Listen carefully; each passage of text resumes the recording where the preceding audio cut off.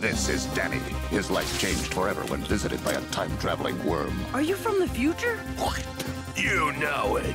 One boy, one worm. These are their adventures. Future Worm. Chili bowl, bologna, chakalaka pudding, green things, in a bag of milk. The greatest lunch ever assembled.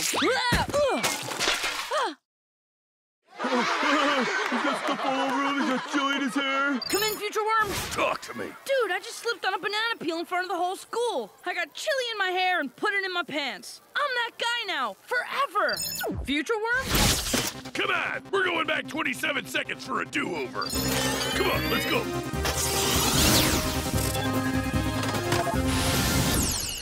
This is gonna be too easy.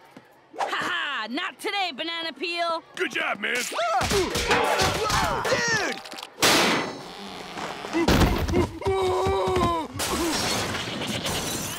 Oh, that's not cool either. Let's try this again. This is a job for Robocarb, dispose of that banana peel. activate vacuum, disposing of the banana peel.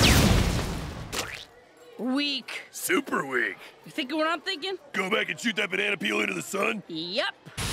Banana peel secured, ready for blast off. Sweet. Stop! We are the eternal guardians of banana peel slippage. And? Do you have any idea what will happen if you shoot a banana peel into the sun?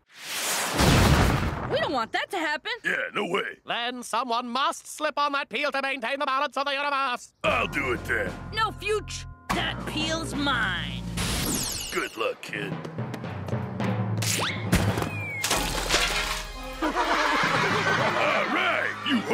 Thanks, Danny. The balance has been restored. Woo!